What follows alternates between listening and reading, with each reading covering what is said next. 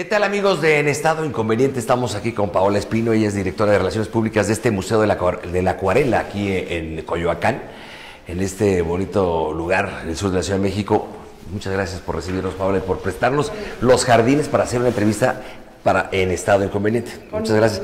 Pero aprovechando, me gustaría que nos platicaras un poquito de este museo, que es una maravilla. Eh, platícanos qué hay, cuántos años cumple el museo. Pues fíjate que estamos muy contentos porque estamos celebrando el 50 aniversario de la fundación del museo. Es definitivamente un año de festejos, de celebrar, de compartir, entonces nos da mucho gusto que ¿Y de qué manera lo van a festejar? Pues hemos enmarcado todas las exposiciones de este año en esta celebración. Hemos tenido exposiciones nacionales, internacionales, intercambio con otros países y vamos a cerrar el año con dos exposiciones especiales. Una es un concurso de pintura profesional, el más importante de México, y vamos a terminar con una exposición especial donde contamos 50 años de la historia del museo, pero también de la historia de la cultura, del arte y de México en los últimos 50 años. Fíjate que eh, yo no sé, te voy a ser muy honesto, no sé mucho de, pintura y menos de acuarela, me gusta el impresionismo, pero por ejemplo la acuarela, ¿quiénes serían como los grandes maestros, los grandes artistas, aunque ya, ya no existan, es decir, que a nivel mundial? Hay, hay muchos artistas y también depende un poco de, del país y del estilo. Nosotros hoy por hoy en la acuarela contemporánea vemos que los artistas mexicanos están haciendo un gran papel y eh, en los concursos internacionales. ¿Qué eh, país sería como el así eh, como el parteaguas de, de, la hablo de la acuarela? De la acuarela, yo creo que China. Al final ellos tienen toda la historia de, de la pintura, del papel, entonces de los más sobresalientes sí, yo pensaría que está por allá en Asia. A ver, para darnos una vuelta me gustaría que me platicaras de este, esto que es una verdadera maravilla. ¿Este de quién es? Este es un mural, eh, el autor es el maestro Alfredo Guatirrojo, fundador de este museo, y él pues fue un gran amante del arte, de la cultura mexicana, y eh, con apoyo del doctor Miguel León Portilla, quien también firma este mural, eh, recaba varios elementos de las culturas prehispánicas para plasmar una, una, combinación entre el hombre y la acuarela, es el título de este mural. Y como verás, pues tiene el, el elemento más importante, que es el agua, y sobre todo en este museo, que a través de ella se hace arte, se hacen pinturas, entonces está toda la combinación. ¿Para allá o para acá? Primero para allá. Porque allá vi uno que me, se me hizo una verdad maravillosa, soy amante de los payasos, me gustan mucho, por ejemplo. Pero a ver, de este lado vamos a pasar y que nos platiques un poquitín aquí, qué más podemos observar, la gente que quiera venir a este lugar. Es en la calle de, Salvador Novo, eh, llegas a Francisco Sosa en Coyoacán y a la derecha, en, Francisco, perdón, en, Salvador Novo. Número 88. Número 88. A ver, vamos a pasar de este lado para que me platiques. Mira, aparte, esto era una casa seguramente de alguien, de, no sé, era una casa, ¿no? Porque veo unos jardines preciosos. Mira más esto. Bueno, ahorita, ahorita salimos. A ver, platícanos, aquí está la biblioteca. ¿Qué podemos observar? La, biblioteca. El Museo de la Acuarela se originó en el 67 en la colonia Roma, pero justamente en los sismos del 85 el edificio estuvo dañado y no pudo continuar su historia ahí.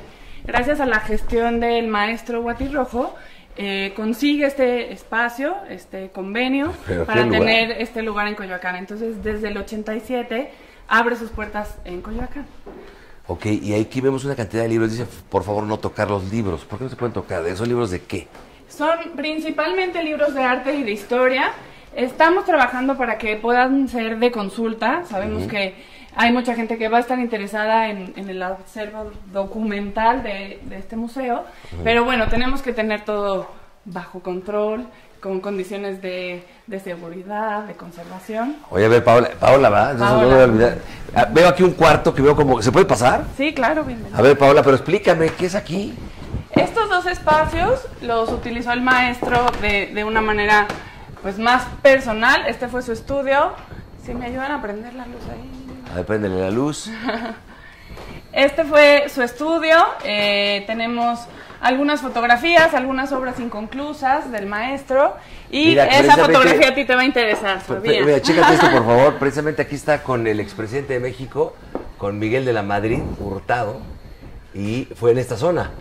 De pues hecho, de hecho él, su casa, que todavía es, cuando entró a Los Pinos vivía aquí, y cuando salió de Los Pinos seguía viviendo aquí con su familia, aquí en Francisco Sosa.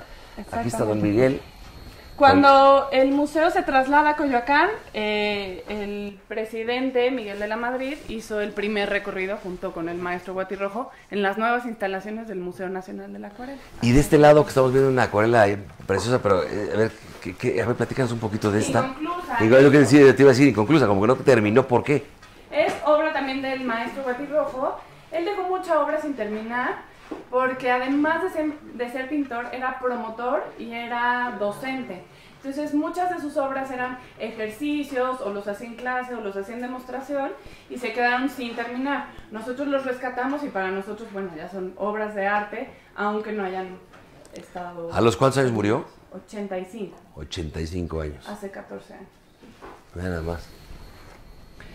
Y las obras de la biblioteca son obras internacionales, gracias, que los artistas de otros países han dejado en el museo como, como legado, como donativo y como muestra de estos intercambios pues, sólidos y fraternos que tenemos con otros países para recibir obra de otros países, pero para también compartir el talento de los mexicanos en otros países. A ver, te voy a hacer una pregunta que digo, perdón ahora sí que mi ignorancia, pero por ejemplo, algún coleccionista de pintura, la acuarela, los, los, cuadros, las obras, ¿son caras?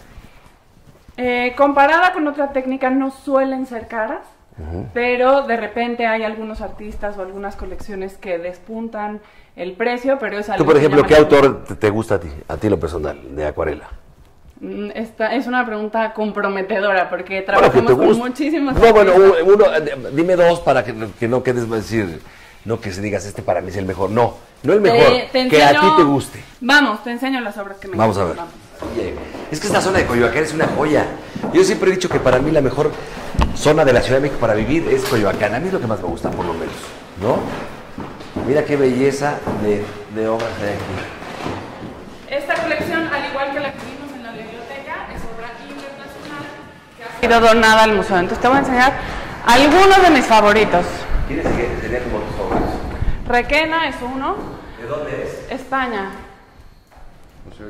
Tenemos varias obras de él aquí en el, en el museo. Él ha, donado en repetidas ocasiones. Entonces, tenemos por ahí un par de obras de él. Y este es, este es mi favorita. ¿Este cuál es? ¿De quién es también? Ella es eh, polaca. Sin embargo, en esta obra apreciamos una de las maravillas de la acuarela. Resulta que al trabajarse con agua, el color blanco no existe porque sería transparente. Entonces, su manejo de las este luces lo que hace es no pintar, es el blanco original del papel. Entonces es una maravilla. pintar de acá. Exacto. Entonces, a mí me parece brillante cómo los artistas hacen una pintura pensando en lo que no van a pintar, en cómo manejan la transparencia, la luz, las sombras. Sí, por supuesto. Es como cuando Cuarón le, ganó el premio, fíjate, fue, ganó el Oscar, Alfonso Cuarón, antes de Alejandro González Iñárritu, que fueron dos seguidos, antes fue Cuarón, con esta película de esta mujer, ahí ¿cómo se llama? Muy conocida, no me acuerdo cómo se llama la, protagonista de la película, pero la del, la, del espacio, todo ese y todo se, se, filmaba, imagínate lo difícil, filmar sobre, sobre croma y luego picaban para el cromo para hacer el paso. Es, más o menos, digo, mejor... Un, pues, poco así. Al final, eh, el cuidado que tiene cada artista es admirable y por eso hay un museo de la acuarela y también por eso hay asociaciones de acuarelistas en el mundo. Oye, ¿Corsa, ¿es ¿Corsas o Corsa? ¿Corsas? ¿Sabes quién es? Un pintor. Él, era acuarela también, ¿no? Francisco. Porque yo tengo uno en mi casa, te iba a decir ah, que es pues, caro, sino para venderlo. Lo vemos. Oye, si alguien, por ejemplo, quiere uno de estas obras, ¿se puede, la, puede conseguir, la puede comprar? Eh, la colección del museo se ha ido armando, entonces esta obra no, no está a la venta. Sin embargo, el museo tiene otros servicios como tasación, evaluación, conservación de obra, tanto del museo como de externos. Entonces, si tienes una acuarela que consideras valioso, tráetela y te hacemos una una evaluación. No, pero si alguien, quiere, si alguien llega que dice, me encanta este o este, no es imposible. ¿O dónde Estos no, pero sí tenemos una colección que se pueden que se pueden adquirir, sí, por supuesto. En el museo las exposiciones temporales cambian más o menos una vez al mes. Entonces la rotación de obra es, es muy amplia. Mira, padre también. ¿Tú pintas, burro? No, no pinto, pero. ¿sabes, sabes qué me gusta? Pero sí me gusta, por ejemplo, en la fotografía me gustan mucho los rostros, la- las fotografías de, de Retratos. personas. Me, me encantan los, los rostros. Pero vemos, ve- ve, gente, hay cosas tan interesantes, tan padres. En el museo justo, eh, como queremos promover el arte, la cultura, y sabemos que todos en algún momento hemos tenido contacto con, con la acuarela, es una técnica accesible, Sí. desde la escuela la conocen. Más sencilla, tal vez. Digo, tiene, bueno, no, no. Ah, conté. no, no, no, ah, pero hablo de la parte de, de si eres niño, empiezas a, Ah, sí, es más sencillo que el óleo o muchas cosas. Claro, que no tienes que enfrentarte a solventes y otras cosas. claro. ¿no? Y pues justo eh, promovemos que haya clases, talleres, cursos, Aquí hay todo eso. todo eso. Entonces, pues, por ejemplo, si, si yo quiero meter a mis hijas aquí a pintar, ¿lo puedo hacer? Sí, claro. Mira, estos colores, a mí me llaman mucho, me llaman mucho la atención los colores, por ejemplo, ve esa maravilla. Esa es una obra de Estados Unidos y el manejo tan sólido de los colores es de llamarse la atención. No hay, no es tan transparente como otras. Sí, ve, ve, que es el lado derecho, son más, como más suaves, ¿no? En fin, pues muchas gracias de verdad por, por permitir, permitirnos pasar a conocer aquí y por prestarnos para hacer unas entrevistas para el programa de En Estado Inconveniente de, de bueno, en plataformas de YouTube, todo esto. Muchas gracias de verdad, ¿eh? Ustedes, con mucho gusto. Gracias.